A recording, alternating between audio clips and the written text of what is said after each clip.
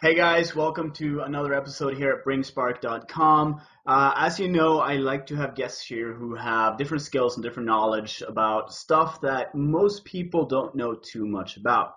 And the guy that I'm with here today, he's got insights into at least two different aspects of life that a lot of people, especially men, really have a lot of interest in, but not that much knowledge or, or skill in. So I'm really excited to have him here today. Uh, we've met several times on workshops and seminars around the world, well, maybe mostly in the U.S., I guess.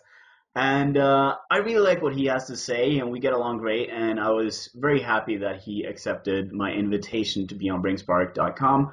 And we're going to talk a little bit about self-defense and alpha male and tactical training. And we're also going to talk about seduction and communication between men and women and that whole bit there. It's going to be an amazingly fun show and I can't wait to get started. So bravo. Thank you very much for being here today.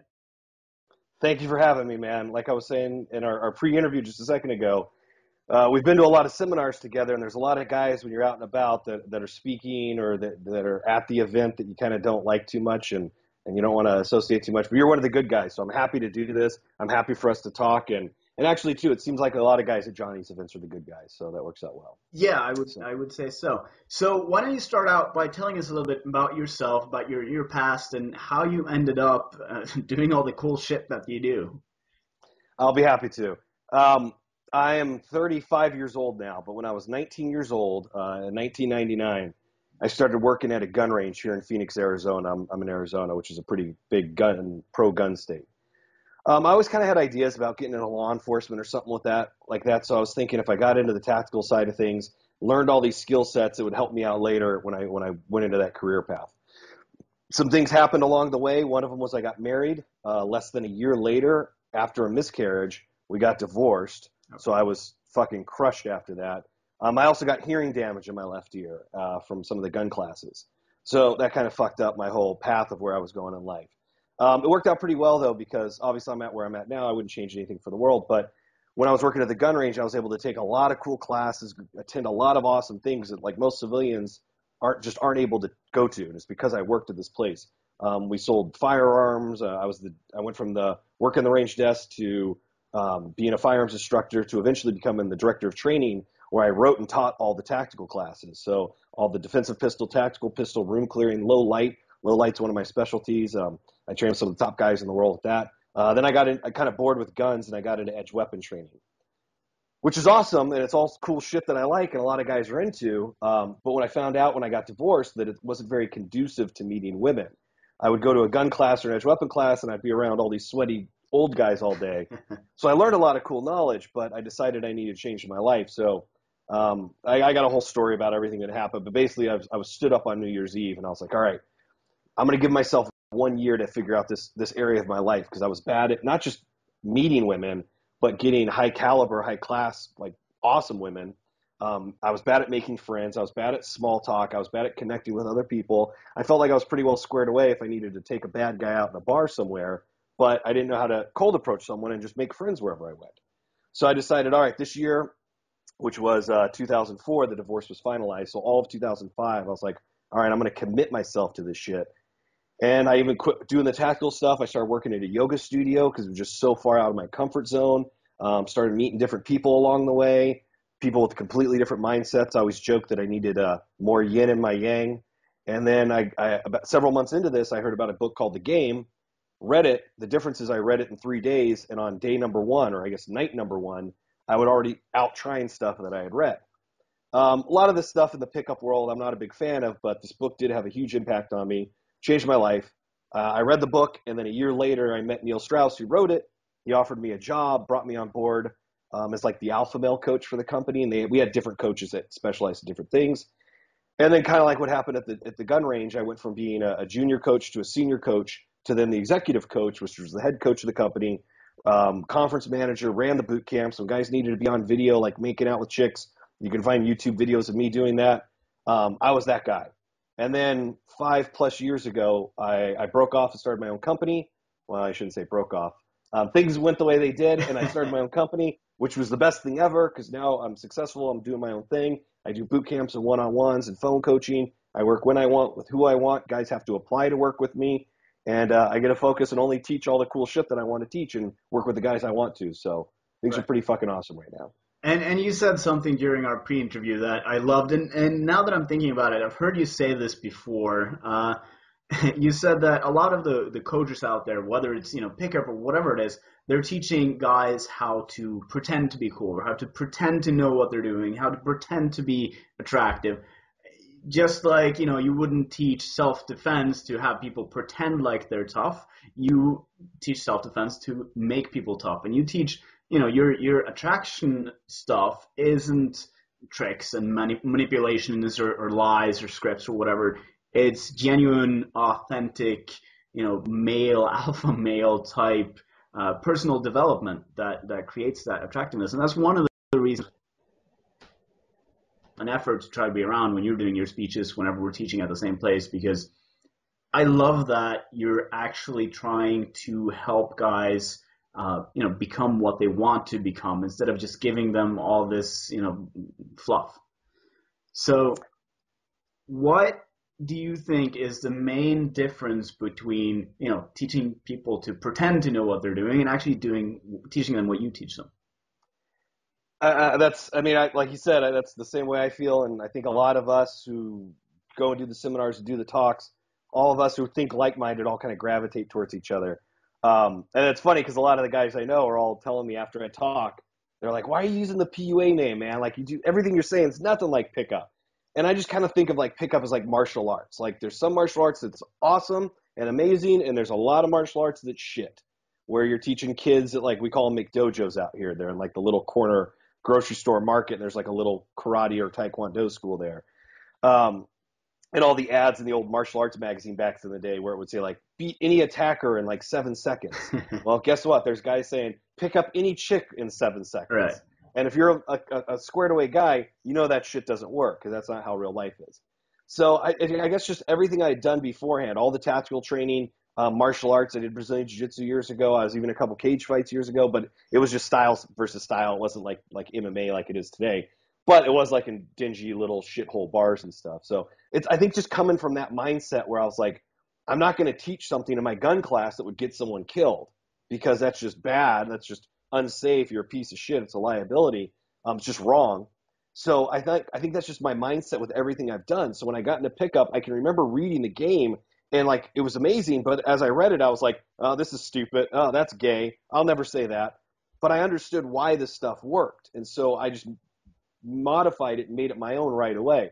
It's funny, I actually didn't even do any of the canned routines or anything from the game until we were getting ready to do one of the, the very first boot camp. We flew out to New York, and I'd actually never even been there before. And I was like, oh man, we're teaching out in New York. This is fucking crazy. I'm just some guy from Arizona. And um, I was like, shit, I better use some of these routines. I'm working for the guy who wrote the book. I should probably have, have done them. And so I went out, but then the thing is, the routines worked and I, they worked because I was able to make them work. And I also understand. I think a big thing that a lot of guys miss, even the guys who are in the book or teach this stuff professionally, the routines are only there if you need them. And the guys, like I've worked with guys who are are so shy and timid around women. One of them, uh, uh, uh well, I'm not going to say his name on my forum, but he's on my forum. He's active. I'm coaching him now again, and uh, he was so nervous around women that if it was a, a female server would come to the table and ask them to like what they would want to eat. He was so nervous he couldn't even order his food from her. He'd have his mom or his sister order. So when I get a guy like that, I kind of I can't go, hey, I just go up and tell the girl you think she's beautiful and you want to get to know her, which is a great. I mean, I, I think every guy should have that skill set, and you need to have the balls to be able to pull that off. But he's just not there yet. So I'm like, all right, well, here's the conversation. Here's here's an opener. Here's something you can say just so he goes out and gets acclimated to it and realizes nothing bad's going to happen mm-hmm. and we can get rid of all those irrational fears. And then also because like the conscious mind can only handle five variables plus or minus two. If like like me, I was horrible at body language. I was horrible at like smiling. I was the guy that would smile and it looked like I was shitting my pants because it wasn't congruent with my face. So if, if, you're trying to like just focus on one little skill set, like, hey, I got to learn how to fucking smile more and not look like I'm angry and want to get in a fight with everyone here. I had to like focus on that. So it, routines did help me, but the difference is they were my own routines, and it, it was it was great for what they were. But just think of them as training wheels, and once you don't need them anymore, I don't have training wheels on my mountain bike because that's gonna fuck me up. So you use the training wheels only as long as you absolutely need to, and then take them off. And you're going to fall down and get hurt and skin your knee, but eventually you're not going to need them anymore. And as soon as you don't need those tools anymore, you fucking get rid of them. Whereas a lot of guys, even guys I know that teach this stuff, never get past that. They're still using other people's routines. Absolutely. And as I talk to them about that, I'm like, wait, you're not like, don't you get bored? Don't like, isn't that weird? And they're like, hey, it works. and so as soon as I see that mind or, or hear that answer, I instantly know everything about them and where they're coming from. And I mean, to me, it was never about getting something that works. It was about fixing and improving this area and aspect of my life. Mm. So I guess I came at it from a different direction too, which then, I mean, there's different paths to enlightenment. Sure. Some people get stuck along the way. Yeah. Well, it seems to me, and and when you teach someone from the perspective of you know challenging them and and developing them as a person and their their confidence, their skills, their their belief in themselves, and, and whatever else. You know, trainings training wheels are great, but once you reach a certain level of comfort with yourself, you don't want to use them anymore. Like even if you know that they work, it just makes no sense to you to use them anymore because it gets boring. You have the same conversation over and over again. Come on. And and it's it just doesn't seem congruent with who you now know that you are. So I'm all for training wheels. I completely agree with you. But If and, you need them. Yeah, and to me, Some guys didn't even need the training wheels. yeah, exactly. You get rid of them because you don't. You realize that you don't need them, and the people that keep doing the training, using the training wheels year after year, to me, those are the people who are working on the wrong thing. They're working on the words that they say instead of the person that they are, instead of the that fundamental stuff. But And uh, to me, I would rather I would rather go out and approach a girl and have her reject me for being me, because once you get good at this stuff, it's no longer about picking up girls. It's you're going out and you're trying to make friends or build connections. And I'm interviewing her to see if she's cool enough for me. right, And that's just a whole different reality that most guys will never get to, which is just, I mean, they're going for the low hanging fruit or they're going for the apple and orange that's on the ground. Whereas you and I, we're like, that's the one I want. exactly. And then when we get it, if it tastes like shit, we don't care. We'll throw it away and get another one. That's the Now, difference. now I, I assume, and I, I did, I don't know if we've ever talked about this, but I did martial arts most of my life, and I, I was a coach there too. So I have some, some experience with that. But you have experience with a lot more than just, you know, on the mat type training. You have the, the self development, the, no, sorry, the self defense and the tactical training.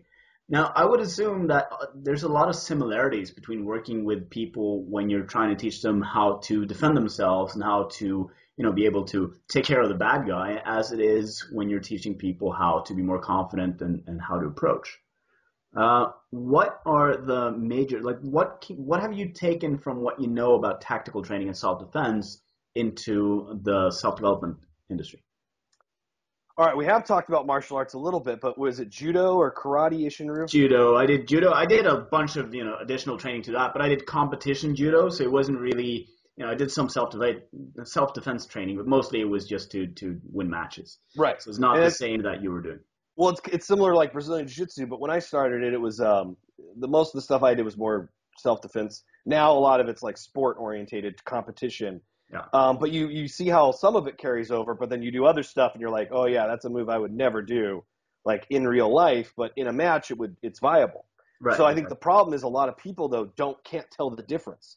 They're like, well, I know this, and I'll do this in real life also, and you're like, eh, you got to be smart enough to realize this is a this is a, a tournament move and this is a street move.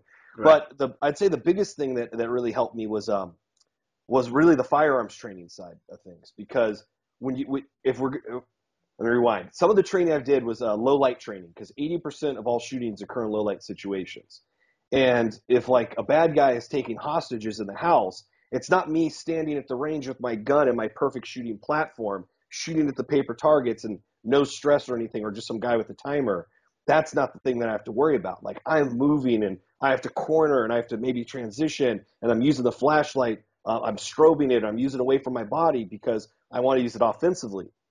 And someone's shooting back at me. And once you start doing that, it's just a whole different reality. So it's like punching the punching bag versus ha- like just rolling in judo class or Brazilian jiu-jitsu class. Like there's just like having that grappling dummy. There's just no. It, you could practice a couple things on that or some technique, but it's just you can't practice with the grappling dummy or punching bag and think you know how to fight. right. So Right. that when I when I first did my big first class on that and realized how much I didn't know and how real life is a dynamic unfolding set of circumstances. It's basically chaos, and I had to learn how to thrive in chaos and how to not get shot and shoot the other guys. So I learned those skills. Then I got into pickup, and I went out to the bars and clubs, and I was like, "This is chaos. There's all these people here. I don't know. Oh, I'm looking at something. I'm recognizing a pattern. Okay, they look like they're together. Oh, they look like they're friends. Those people are celebrating a bachelorette party. Or I'm approaching a table and I see there's three girls sitting at the table and it's a four seater. And the three girls each have an empty glass in front of them and a half empty glass in front of them.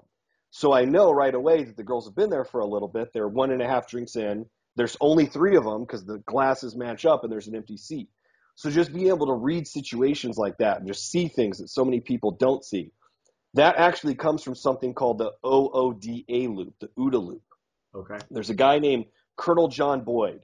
He actually is the guy that like developed F-15, F-16. One of his main guys is the guy who developed the A-10. So he's this Air Force pilot guy, and a lot of people consider him the best military strategist ever. Um, they wrote about him on Art of Manliness recently, and um, uh, Robert Greene did a blog post about him a while ago. But I read his biography. I've studied this guy's stuff. It's amazing. Um, he's like a fighter pilot ace. Like his nickname was 40-Second Boyd. Within 40 seconds, he could reverse positions on anyone that was out there. Wow. Um, but he, he basically figured out that the thought process loop that we go through when we do anything is four stages observation, orient, decide, and act. And so a lot of people think the action phase is the, the hard part, but really it's all the observational skills and the orientation, deciding and knowing what to do. Like using the fighter pilot analogy, once you get on someone six and I'm going to pull the trigger and shoot one of my missiles at them, that's the easy part. Just doing this is the easy part. Mm. It's all the other shit getting there that's the hard part. Right. Same thing doing like room clearing. Like everything getting there is the hard part, but once I land at my sights and press the trigger, the action part's pretty easy. So by drilling that so much, it helped me start understanding the process. And when you understand the process that every human goes through when we're making conscious decisions, the thought process loop, they also call it the OODA loop. When you understand the process, you can do it more effectively. And so this is one of the things that just helped me out more than anything probably in the world with pickup because I'd go out, see a girl's wearing a little necklace that's like a little um like the yoga symbol. So as soon as I see that, boom, as I'm approaching her, I see things, but most people don't see. Mm. They're just looking, but they're not seeing. So little things like that, seeing the girl's body language, seeing her smile, seeing the girl look disinterested, seeing her friends. I'm observing, and the more I observe, the more information I can gather, the more likely I am to make correct decisions afterwards. So I think that was the biggest thing. And I, I highly recommend everyone who's on here to like just get on Wikipedia and just Google it. You don't have to read the whole book and all the stuff I did. There's tons of stuff out there. But OODA cycle, the OODA loop, one of the best things that you can ever learn about. That's right. It applies to everything. Right, because I, while you were talking, I'm, I'm thinking this seems to me to be a, a problem. Like I do, I work with with individual clients, I work with corporate uh, clients and whatnot. And one of the biggest things that I see all the time is that people's usually are a result of oversimplification or a misunderstanding, which is to say that they'll see a situation and they'll just glance at it and they'll make a decision about what that situation is. So if we if we pull it to the bar, you know, they'll see a girl and it's a girl. That's all they see. That it's a girl that's either attracted to them or not, and that's it. And they they neglect to see, you know, who's she with, what she, you know, what's she doing, what's body, body language telling us. Uh, is she drunk? Is she sober? What's the, the situation? Uh, but to most people, you know, you've said you said it yourself when you when you walk into a bar or a club, it's chaos. And most people kind of drown in that chaos. They look at it and they're overwhelmed and they're in their head too because they're thinking about all the shit they're supposed to do and supposed to say and all this. What would be like? How do you help people get from that that state of near panic or, or at least overwhelming um, sensations of chaos to a place where they're actually in a state where they can observe and then make the right decisions from there? So two things. I'm going to jump back to what you said a second ago too about the guys going into the bar and see the girl. They're observing, but their observation, and, and like I said, if you read this up, uh, read up onto the OODA loop more, uh, it talks about the hypothesis stage where people draw in like ideas and previous experiences and cultural heritage and beliefs, and that all gets put into that that mixture. And so what happens is a lot of AFC guys will look at a girl and go, "Oh, that girl will never be uh, be interested in a guy like me," or "Oh, that couple's probably together and they're probably dating." Whereas you and I are looking at it, we're like, no, that girl's talking to that guy. She doesn't even want to be talking to that guy. She doesn't even know that guy. Like if you go in right now, you'd be saving her. But that's not what they're seeing because they don't have all those little files to put in there and give them a more educated view on the world. And then they decide not to approach, and then their action is inaction. So again, if you understand the process, it, it helps with everything. But the guys who they're not seeing what we're seeing.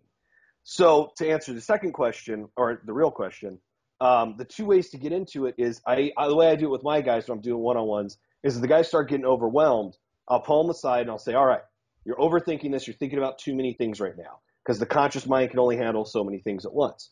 So right now you're thinking about A, B, C, D, E, F, G, H, I, J, and you're going to fuck them all up.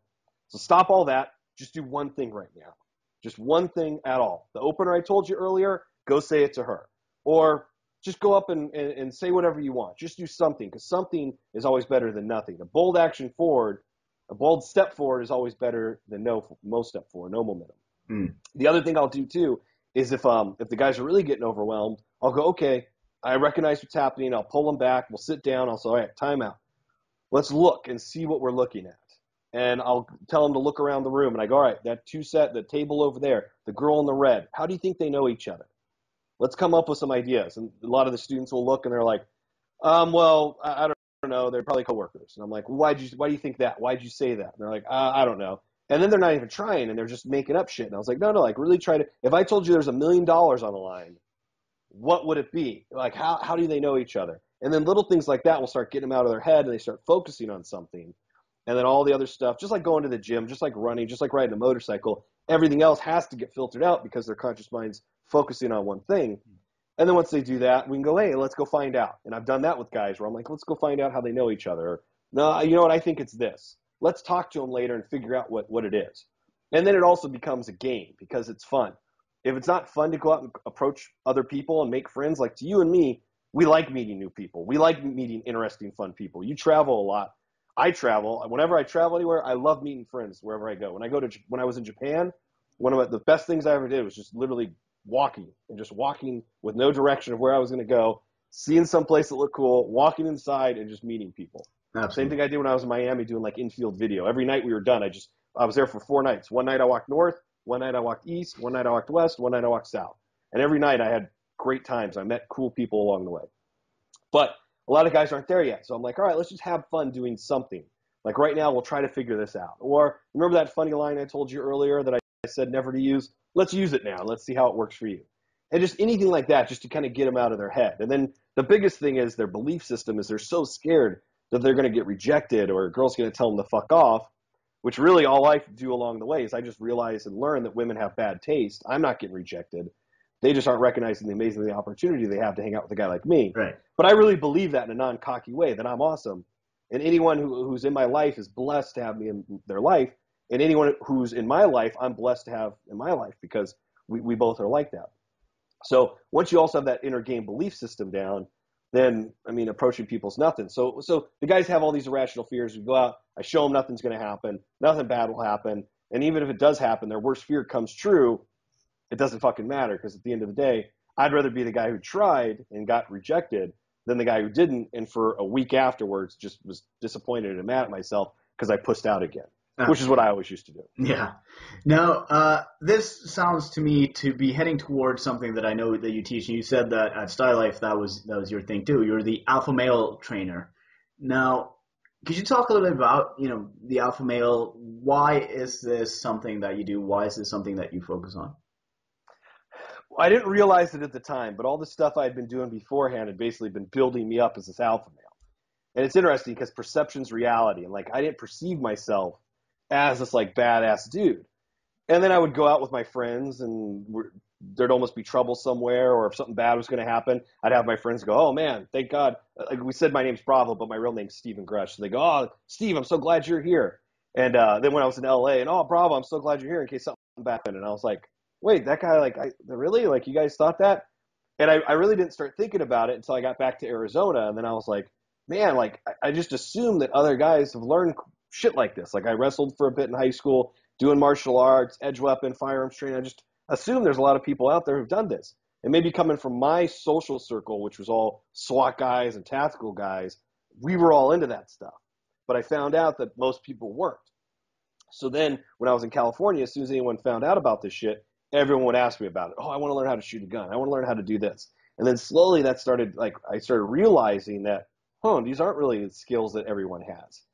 And so then, like I said before about everything I had learned along the way, to me just carried over. But really it's it's like if you do anything well, if you're an amazing musician, if you're an amazing painter, if, if you play golf really well, I mean, all the skills and, and all the things that you learn developing that skill are all directly applied to this stuff. Like you have to go out, you have to put in the hours, you have to put in the reps.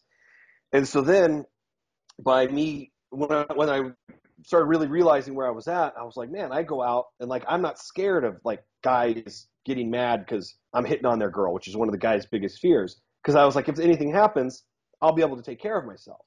But I've never had an issue ever. And I mean, I've approached girls and said crazy fucking things. And I've never had any issue where there was like a guy who wanted to fight me afterwards. A couple of my students have ran into issues, but they're usually in shithole bars or guys are saying really inappropriate things. But it really, it really clicked in my head one night when I was out and um, I was talking to a, a group of people and I was like, oh, you guys remind me of my friends back home. I started chatting with them. And then I was, as I was trying to get to know everyone and figure out the relationship, the one guy and girl, I was like, you guys are kind of close. Like, have you guys been dating for a while? And they both look at each other and they're like, no, we're brother and sister.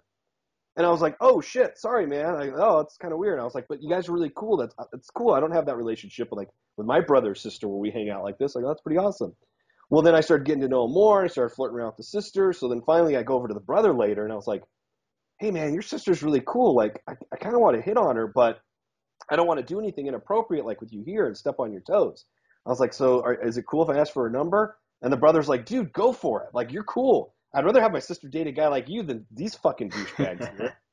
and so that's when I realized, like, a big thing is, is, is other guys, it's like prison. As long as they don't feel like they're disrespected, you're not going to have problems with them. And so I always give respect, and so I get respect. Um, I also don't have some little AFC angry virgin chip on my shoulder where, and you know the guys, where they go out and they're like, now I got, now I know the skills to get girls. Let's fucking teach everyone a lesson. And I'm like, yeah, well, you're putting that out there. You're going to be drawing it back. And then lastly, I think just um, like I said, was like I, I know how to defend myself, so that was never an issue. But my confidence from that area of my life, just like if someone's a, an accomplished musician or artist or whatever, any other art form, if they're very confident, squared away in that area of life, that confidence carries over to all the other aspects of their life. And so it took a long time for me to realize this, but I would meet girls even like my ex. And th- when I told them that I had problems with like self confidence, no one could believe it. Like my ex was like, "What are you talking about? Like when you were in school, I thought you were like out of my league." And and I, I like everyone I know always thought you were the most confident guy. And I was like, "Really?" Like I didn't see it, and because I didn't believe it, I didn't feel like it was true. But everyone else's perception was it was. So once that clicked in my head too, I was like, "Well, so I am pretty confident. I put out a confident vibe, and I also know how to defend myself from all the tactical stuff." yeah, I'm to go out tonight. What's the worst that's going to happen? I'm either going to have fun or I'm going to have a funny story at the end of the night. And that's basically it. So once I realized that stuff, and, and you don't have to be like a knife fighting, gun shooting guy like me to, to be a confident guy. Just go and take some martial arts classes, take some judo, Brazilian jiu jitsu, some grappling. Get used to being, I think that was a big thing for me too, being used to being close to people because mm. of grappling arts. Um, a lot of people are uncomfortable being close or, or touching other people. I never had that issue but just just something, Krav Maga, even just whatever martial arts that's in your neighborhood, just do something, because then also that's like what we call a DHV story and a DHV activity. Like when I'm hanging out with a girl when I'm single, I have a girlfriend now, but she'll say like, hey, let's hang out this week. What do you, what about Tuesday night? And I go, oh, I can't. Monday, Tuesday, Wednesday, I got martial arts class. And so just right there, that's something that separates me from all the other guys because they're at home playing World of Warcraft or whatever the fuck. Right. So instead of leveling up a video game character, I'm leveling up myself. And I think that's the biggest thing from all of it is trying to level up myself in different areas. And if you're if you're bad at stuff and good at other things, I don't work on the things I'm good at to level up. I want to level up the things I'm bad at, just like a video game character. Mm. So that's why when I got into pickup, I literally for four years didn't think about martial arts at all and just worked on all the self help, self improvement stuff. And then when I started my own company, I kind of now merged the two. So, right. Does that answer your question? Yeah, absolutely. And it, it's very cool because a lot of the alpha male uh, focused coaches or whatever out there uh, seem to be um, not alpha.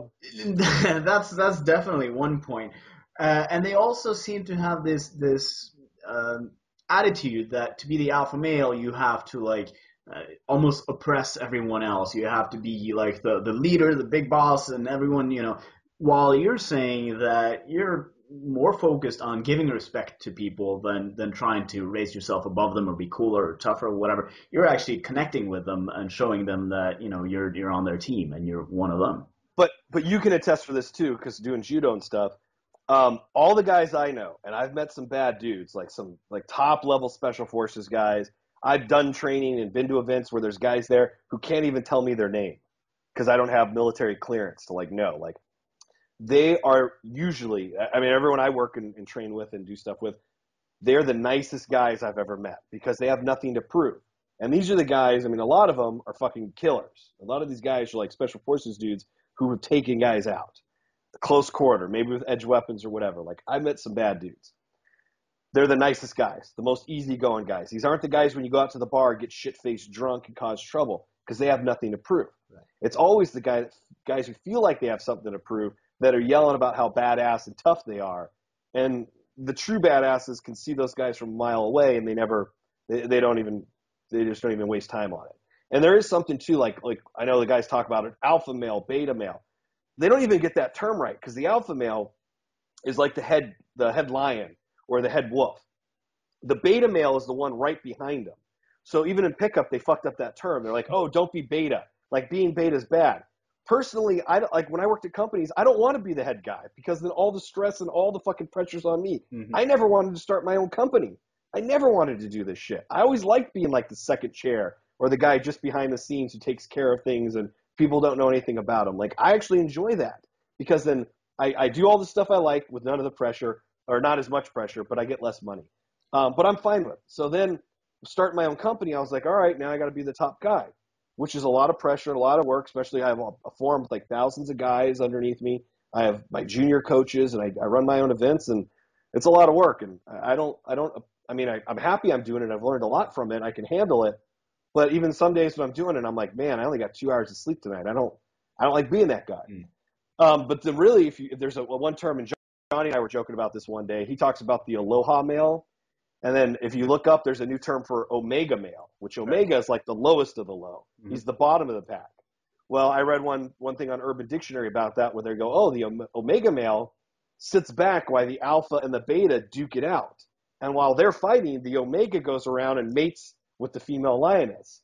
And I was like, that's kind of more my mindset. I always like trying to be in the background and not deal with a lot of shit. I don't I don't advertise. I don't do affiliate stuff with um, in pickup. I just do my own thing. I only spoke at a couple events, speak at a couple events, and that's it. So that's always been my mindset. When I go out to the bar and club too, I'm not the loud guy. I'm not the obnoxious guy. I like just being cool and hanging out with my friends. If I see a girl I think's attractive, I'll go and talk to her.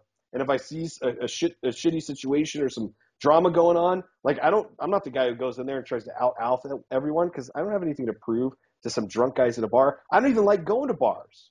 I don't even really drink. I've only been like drunk like six times in my life, and like four of those were like in high school. So it's just it's just not even my thing. So I don't even like dealing with all that bullshit. I like just doing my thing, living my life, doing cool shit, and along the way meeting cool people, which 50, 48 percent of them are women.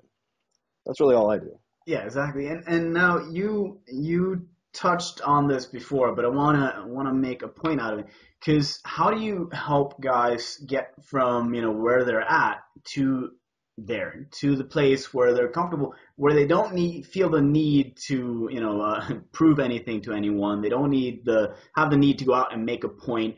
They just go out to do what they want to do because it makes sense to them.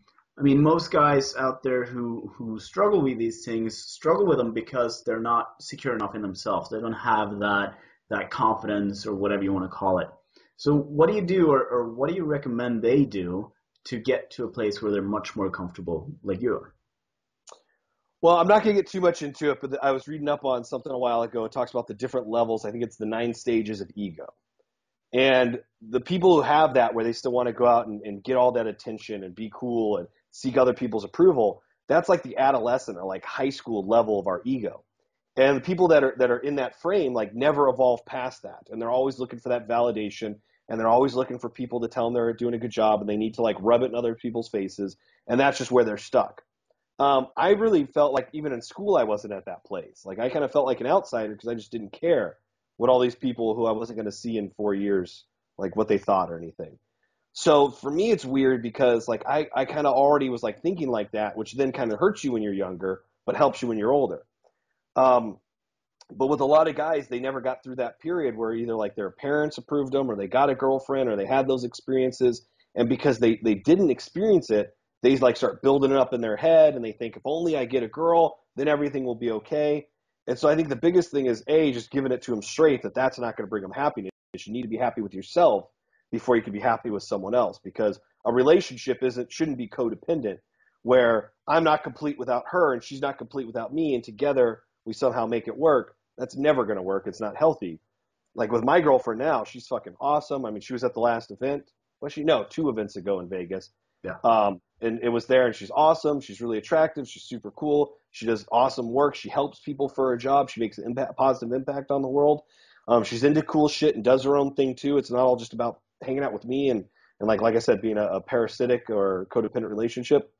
So that was important to me. So a lot of guys just aren't there yet. So when I work with them, I'm like, all right, you're still a big pussy. Like you still care too much what people think about you. Um, you're st- still too scared when you go out. You're worried that something bad's going to happen. You're scared that this is going to happen in your life. You're going to get beat up. So start learning how to train and, and take care of yourself. Oh, you're out of shape. Okay, start losing weight. Because any of the things that, that are holding them back, which a lot of it, I mean, you know, once you get to a certain level, yeah, you could be overweight and you're like, yeah, I'd like to be a little bit healthier, but that's not going to hold me back. And Things only hold us back if we allow them to hold us back. So one of the things for those guys at the beginning is you got to break through those chains to show them that it doesn't matter. Because what when you're trying to explain someone, well, it's like the four levels of mastery. You're trying to explain to a kid how to drive a car. It's not going to make sense until they drive a car and get all those miles under their belt. And then later they'll go, oh, now I see what you're talking about. Mm-hmm. Like I don't have to do this every time. I can actually relax when I'm driving. So you got to kind of take them through the process and show them that yeah, these are things that will hold you back but we can work on them or fix them. Like guys I do one on one with, we'll take them out and instantly get them a haircut and buy them a new outfit. And we try it on at the mall. And once they find an outfit that works well, they buy it and then I have them put it on. So that way they're wearing it two minutes later. Um, then they start going out and doing all these openers or approaches that they never would think would work in a million years or they're going to instantly get rejected. And by me having them do this, they realize through experience, through firsthand experience, that what I told them is true and that their belief system was flawed and it wasn't working. So once I can kind of get to that point where I show them that, hey, all the AFC stuff you've been thinking, AFC's average frustrated chump, that's a PUA term for the guys who are listening. Um, once you get to that that that that's area where you're realizing that your belief system's flawed and all these fear, all these beliefs and fears that you have are irrational, and you've just imagined them and created them, just as easily as you imagine negative shit, you can imagine positive shit, and just as easily as you you what if negative outcomes, you could what if positive outcomes. And then also all the things that you thought were going to happen don't happen. Usually after about one to two days with guys, they can go back home and they're like, whoa, this is like getting unplugged from the matrix. And now I'm questioning everything. And then they go back home. They kind of start falling into a rut because they're on the high from the one on one. They go back home. Then I talk to them. They, they go back out again and it pumps back up. And they're like, holy shit, like I got a date tomorrow. Oh my God, I just got laid the other night. And I have a whole section on my forum from guys I've worked with. And you can see see all these posts where I coach the guy, and like a week later, he's going out and getting laid, and they're like, I wouldn't have believed it if it didn't happen. So you got to go through that, and then once they realize that that stuff's true, then they start thinking maybe the other stuff Bravo was talking about is true. That's perfect. Now, I know that there's a lot of people who resonate with what you're saying and what you're what you're teaching, and the proof uh, is easy to find because you have what you call the Bravohood. Uh, yeah, one of my guys named it that. My nickname's Bravo. We were coming up with a name for the forum, so they called it the Bravohood. But I'm on it like all the time. Like one of the things that bugged me back in the day was you'd read the book, you'd get on these websites, and there's all these guys whose names at the top of the page. They post. They're not on it. They're not active. They're not trying to help people, and the whole website's just designed to make money. So I, I put no ads on my site. I have a giant blog, and then the forum. I'm the number one poster.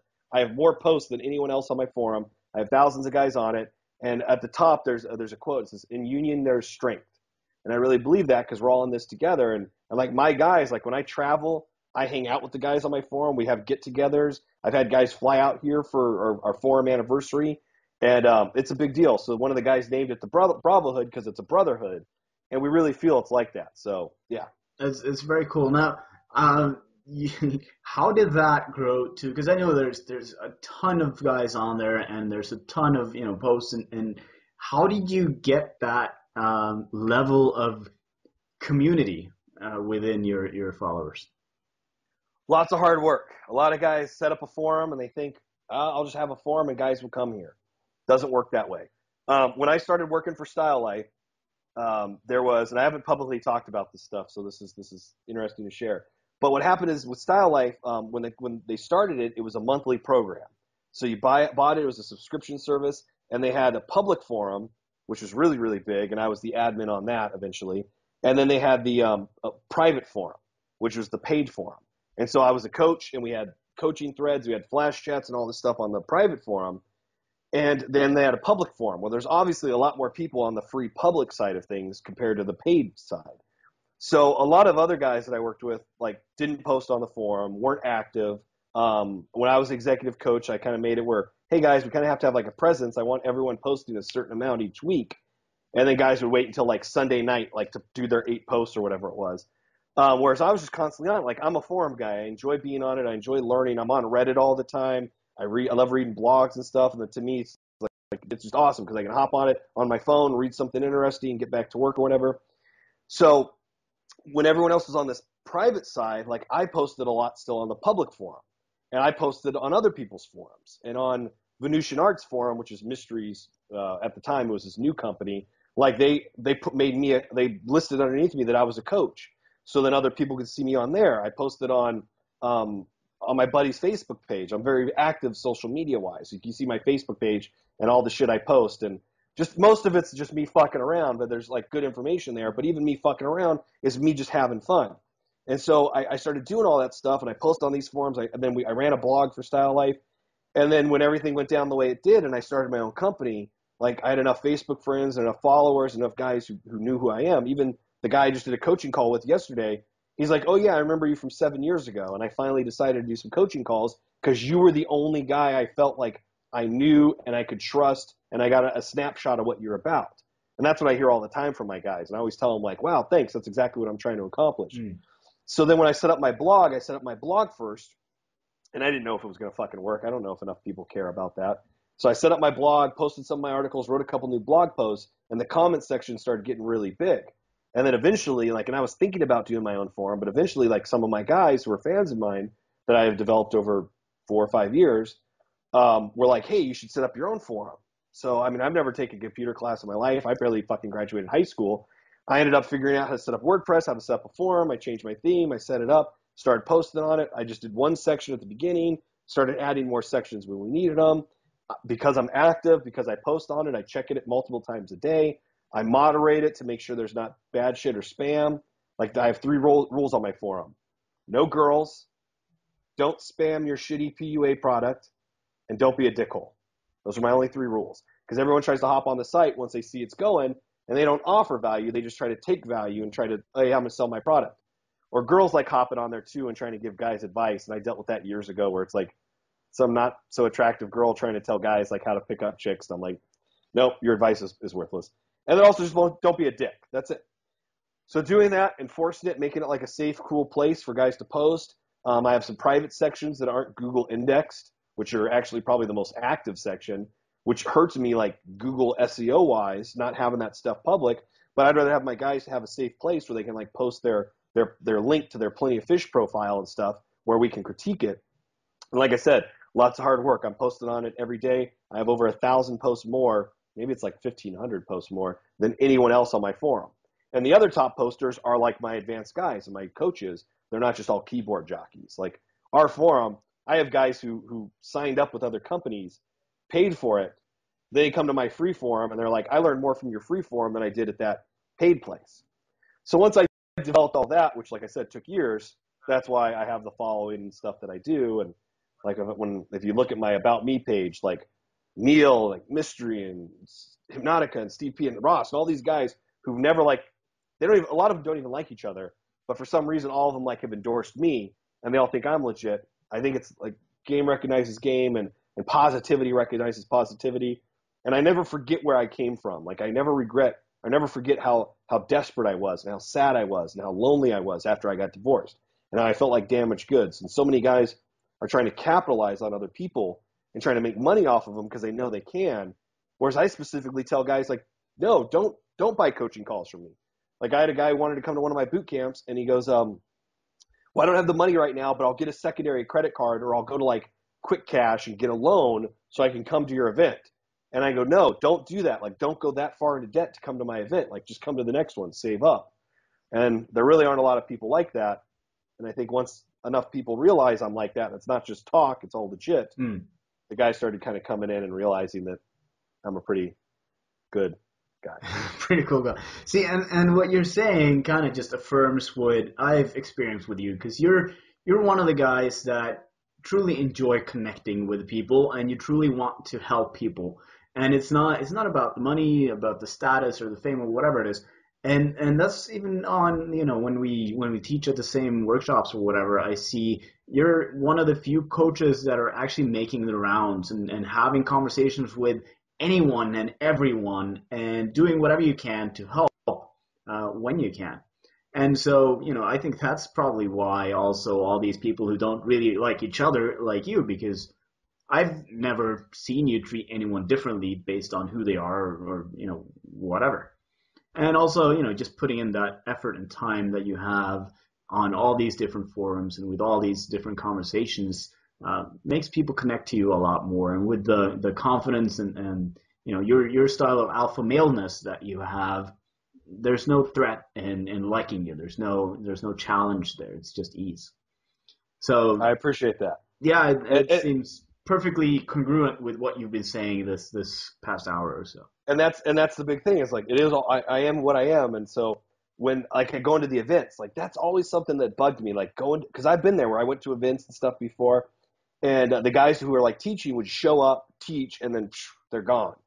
And I'm like, come on, like you're are you a fucking rock star? Like just hang out for a little bit. Like I I'm not saying I'm Mr. Big Shot, but like at events, I have students come up and they're like, "Bravo, can I get my picture with you? Bravo, can I get your autograph?" And I'm like, "Wait, what?" You like, like I had guys asking me to autograph the game for them, and I'm like, "You do know I'm not in that book, right? Like I'm in rules of the game, which was okay, but I'm not in the game. Like I'm not in that book." And they're like, "No, no, I still want your autograph." And I was like, and the first time that ever happened, I'd like grab a pen, and I was like, "Just a second, because I've never written the word out Bravo before." So I like I just script, got a napkin. I'm like, how am I going to do my autograph? And I found out later that my B on my website is like the B from Buffy the Vampire Slayer. I didn't know that. um, but so going to those events and like seeing this and seeing how people are, I was always like, I don't like that. And like it rubs me the wrong way. And guys who are on that have their websites and they you email them or you Facebook them and they don't even take like the 10 seconds out to respond. And I know how overwhelming it is. Like I get emails every day. You I know you do. Facebook messages. Hey man, real quick. Just real quick. There's this one mm-hmm. question. There's this one girl. The difference is I got smart about it and was like, all right, I can't answer any more of these. So I did like a post on my forum that says like, hey, thanks for for sending me this message. I don't have time to answer it, and then I answer all these questions right there. And so now I can at least just copy and, and, and paste that link to them. And I go, hey man, I'm really busy, but here, read this. And in that post, I say, if you have a question and you register for my forum and post your question, send me the link. I'll I'll log in and I'll respond to your question personally. Yeah. And it's interesting because like 2% of guys actually follow through with all that. So that's kind of my screening test to like get rid of the guys who really aren't even going to listen to our advice anyways, but just at least responding to people. Like even yesterday, I found one in my Facebook, my other box, because the guy messaged me, we're not friends. It was like from two months ago. So I just messaged him last night. I'm like, hey man, I didn't get this. I just got this now. Hey, if you still need help with this, blah, blah, blah, but here's, here's some advice real quick. Because like I said, I'll never forget where I was and how desperate I was and how sad I was and how crushed I was and how I almost didn't make it through my divorce and how, how, how sad I was afterwards. I'll never forget that. And I think these other guys, they're, they're seeking this validation. They want to be cool. And so to them, being cool to a bunch of guys who aren't good with women, like makes them feel cool. Whereas realistically, like that's not cool. Like normal people in the real world don't think I'm cool because I run a site that teaches guys how to talk to girls. Right. Like they don't, they think I'm the opposite of cool for doing Um, so really, it's just realizing where we're at, never forgetting where I was, and just trying to. I mean, I learned. I realized somehow I stumbled upon it, like helping people out and just being as helpful and giving as I could. Turned out to be a pretty good business model, and I didn't even know anything about business back then. So, mm. Kind of worked out. Which, like I said, Johnny and all these guys that we know, they do a lot of giving too. I mean, Johnny puts all of his videos online, and then look at the seminars and stuff he does. It's kind of. Yeah. a lot of the guys that are good do that, and it works out pretty well. Absolutely. So, at the very end of our talk, what would be your top advice for the guys uh, watching this who are feeling like, you know, they, they want to be more, they want to feel more confident, they want to get out there, they want to meet people, they want to feel secure in themselves, maybe, you know, be able to defend themselves. That they want the package that you have. What would be your advice for them? All right, so let's say I did like a one-on-one with the guy. He's going back home, and he's like, "All right, I want to get into this stuff because I'm not doing this to sell any shit. Like, if guys want to come to my website afterwards, they can. I don't even think I said it once. You said the Bravohood, but uh, my nickname's Bravo PUA. If people want to find me, they can just Google that and find my Facebook or my website or whatever. I don't even care about any of that stuff. But um, a lot like so, if the guys who watch this never even come to my site, that's totally fine. So uh, thinking like if it was a guy I trained and he's going back home and he's going to do his own thing now, the advice I would give him is try to find a martial arts school that's near your house. Because the martial arts school that's near your house, you're more likely to go to, just like the gym, the OK gym that's near your house is better than the awesome gym like an hour away. You're more likely to go to the place that's close by. And every martial art has something good, but it has more to do with the instructor. So go out and try some different schools and find one that you like, that you connect with, and I mean, I've done lots of different stuff, Brazilian Jiu Jitsu at multiple places, um, Aiki Jiu Jitsu, which is the forerunner Aikido. I did Kinjitsu. And finally, when I started studying Kali, which is the Filipino edge weapon system, specifically Silat Kali, like to me, that's the best thing I've ever found. And I train multiple times a week. I have a great instructor out here in Arizona. Uh, we're under a guru who I've trained with, and he's one of the baddest dudes ever. And they're the nicest people, and it's the scariest, most awesome shit ever. And it applies to everything else I do in my life too. So I, I'm actually getting into the instructor program like next month, and I'm moving up north in, a, in a, uh, like two or three months with my girlfriend up in uh, Flagstaff, Arizona. And I'm going to start running my own training group up there of this martial arts style because I mean I'm busy, but it's so awesome for me to keep training and for me to like help spread it. I want to I want to do as much as I can. Cool. So if you can find one of those places near near your or especially Kali, sign up. A lot of people, it might not be their style because it's pretty pretty intense. Um, but jujitsu, judo, Brazilian jiu-jitsu, even kung fu, any of that stuff, find something that you like because you're getting out of the house, you're getting active, you you're, you're you have a new social circle, you're doing a new activity. It's a DHV activity. You're demonstrating higher value. And then along the way, you're going to learn cool stuff. I like weapon-based systems because real life has weapons. So for me, edge weapon training, firearms training, and like close quarter combat, which is like Brazilian Jiu-Jitsu and like striking systems. That's what I'd personally recommend.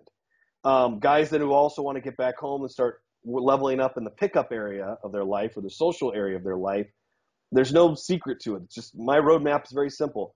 I read the literally when I got into pickup, the only material I read or watched, because back then there wasn't all this shit on the internet like there is now. I read Neil's book, The Game, and I got Mystery's book, How to Attract Beautiful Women or How to Get Beautiful Women into Bed. I still haven't even finished that second book. Like that's and that's literally all I ever did. I've read other things, but pickup wise, that's all I ever did. The difference is I went out and within one night, first night of reading the game, the third of the way through, I was out trying stuff. And because I got divorced and my ex and I sold our house, we'd actually made a lot of money. Like when the bubble popped and everyone lost their ass like three months later. Mm-hmm.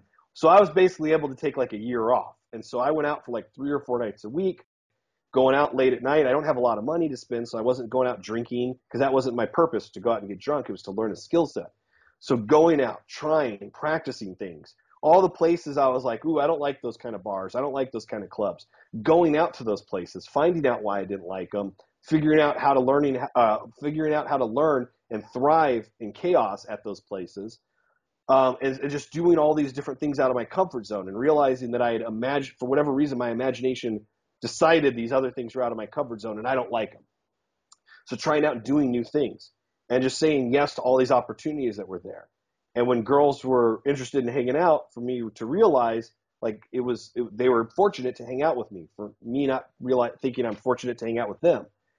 And so it was just a lot of things along the way. And then ultimately, the biggest thing was just going out and doing it even if I had bad nights, not quitting.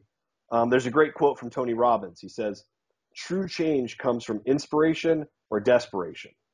Well, after reading the book, I was inspired, and after my divorce, I was desperate. So I was I had never had a moment where I doubted this stuff, and I gave myself a year. A lot of guys go out like one or two nights and they're like, oh, this shit won't work for me. But just like martial arts, just like playing the guitar, I gave myself a year before I was going to go back and assess and see where, where what I had learned and if I had improved. I realized in about three or four months that I was getting better and starting to get glimmers of the matrix. And then about six months in, I started having some pretty crazy success. And I went out to, like I said, all those places I wasn't comfortable with, met a lot of people, had a lot of awesome, fun times and great experiences. But I also realized along the way that, like, I don't like bars and clubs. I, I thought that beforehand, but I, I didn't really test it and, and try it.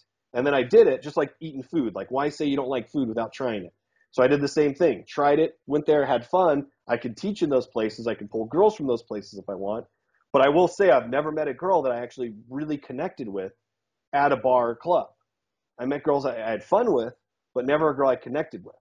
All the girls I connected with, I either met through my social circle, uh, during day game, or which I don't even call it day game, just out and about living my life, um, or online.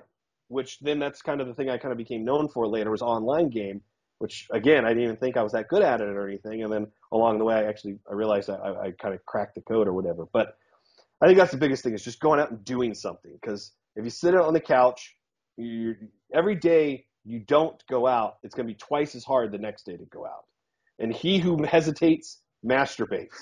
so if you're sitting, tired of sitting at home and you're not happy with the life you have, and like with me after my divorce, it wasn't just sitting at home; it was laying in bed at night on my side of the bed. I wasn't even like moving over yet. I still slept on my side of the bed, and I'm looking up at the ceiling at night by myself and just going, "Why am I alone? Like she's already off with some new guy."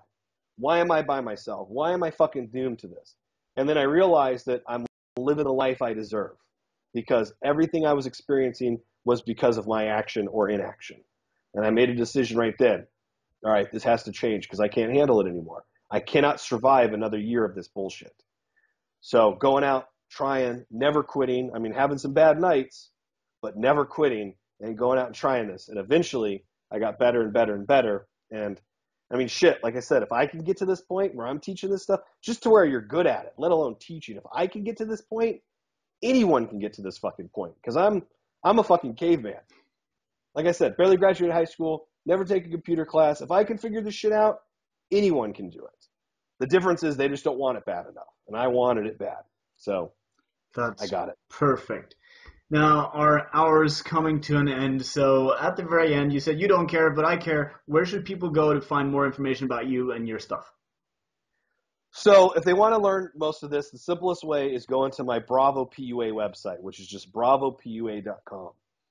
Um, I've been doing enough stuff for for long enough now, and a lot of guys that are coming to me because of this alpha male training. Because to me, I, one of the quotes I said years ago, um, which actually Hypnotica, one of the event him and Steve P were doing, I was on stage and I said, uh, my belief is if you can't protect yourself or your loved ones, you're not a man. And so, like Hypnotica afterwards was like, man, that's really awesome. So he went and got like a shotgun and stuff afterwards. And then I, I re- again, I didn't realize it was that big of a deal until later. All these guys were like, man, I want to learn this shit from you. So now a lot of my one-on-ones, guys come out and like we'll do one day of pickup training where I teach them inner game for half the day. Then I take them out to the bars or actually usually the mall or day games actually better for teaching. And I'll take them out. We'll do some cold approach pickup and I'll critique them and, and we'll, we'll work on things. And then the second day, we're doing all this alpha male stuff. Like, because I'm in Arizona, guys can come out here. We like we'll go out shooting guns the first half of the day, and I'm like an expert marksman, so I'll teach them stuff. Like within like an hour, they'll be doing like headshots like that at like 10 yards. Um, then we'll do like some knife fighting. The last one-on-one I did with the guy wanted to do desert survival. So we'll see. I'm kind of thinking about moving more towards just my real name because so many people know me from that now, Stephen Grosch. But right now, I think the easiest, simplest way, and I'll always have the website, bravopua.com. And the tagline for it is a real man's guide to pick up, dating, and life. And I really thought long and hard about that because so many of these guys just try to teach other people how to be pickup artists. Well, like we talked about earlier, especially before this call started, um, most of us don't want to hang out with guys who are pickup artists because they're not cool. They're not socially calibrated. You can't have fun with them. It's all about just trying to get laid and you're walking down the sidewalk with them and they just can't talk to you. They have to keep running away and approaching girls. And I never like that. I want guys I could be friends with and hang out with. But yeah, if we also want to talk to some chicks, we could do that too. Then a lot of these guys try to give dating advice, but they've never been in relationships, let alone healthy relationships. So how can they talk about that? And then also, like the end, a real man's guide to pick up dating in life. I figure like I kind of got the life thing kind of taken care of. Um, the cool shit I've done, the cool people that are in my life, the way I live my life, how I, I work when I want, how I want, where I want, um, with the people I want, and I do exactly what I love. Like to me, this isn't even work. Like right now, we're camping for a camping trip, so I'm going out of town in four days or for four days. So after this call, I'm literally hopping in the car, we're heading out, and I just get to do all the cool, awesome shit I want with my friends, where I want, how I want, when I want. And so, to me, being able to have that freedom is is pretty fucking awesome. So I'm not trying to brag, but I really am kind of living the life that like people dream about, and I have like the coolest girl I've ever met in my life. Um, I do all the coolest shit I want to do. I do the classes I want to do, and all the things like now. It's hard for me. Like I have a goal list, and I'm working on new things. It's hard for me to like come up with new things because I keep check marking them off the list, like desert survival and all. And I'm taking um, like classes where we go out to the woods just with a knife, or I'm gonna just have to survive for like three days with that. Like any new thing I'm getting into, I'm just able to go and do it. So it's pretty awesome. And all the skill sets I'm learning along the way, once I feel like I'm, I'm qualified enough to teach it, guys can come to me and I'm happy to share as much information as I can with other guys on any of the stuff I do. That's very awesome. We're going to end our talk here. Thank you very much for being here and have a great trip uh, camping. I will. If you guys never hear from me again, call the president, tell him I'm in the mountains. No. Um, Hopefully, I'll see you at some workshop or seminar or something uh, in the future oh, as well. I'm prepared. When we go out, I got so much gear, GPSs and stuff, comms, radios. We're good. But yeah, thank you for having me on. This is one of the few I don't. I get asked to do a lot of these. You're one of the guys I would. I'm happy to do this with. I'd ha- happy to do more in the future. I wish you guys the best with this website. And guys who are watching this, TJ's one of the good guys. Um, I, am glad you guys found your way here. And yeah, I, I enjoy learning from them. Actually, your last talk, your analogy about the different experiences on the roller coaster Remember at um yeah, yeah. at uh, Disneyland. Uh-huh. Yeah, I actually I use that now when I teach my guys. I'm I'm and honored. I go, hey, I, I heard this from TJ. I will say I, I added one other aspect to it though. Um, my first job, I worked in a haunted house. So then I talk about how there's a fourth perspective from the people who actually worked there. So then it's like even a mind blowing thing that right. oh whoa I never even think about that. That's it. So yeah, I saw TJ talk last time and I was like, and I pulled out my iPhone and I wrote that down. I was like, fuck, that's good. So I use that in all my one on ones now. I always give credit. Um, so you guys found a good guy. I'm happy you're here, and I'll try to help out as much as I can. I appreciate that. Thank you very much. Um, yeah. All right. Cool. See you soon. Bye, guys.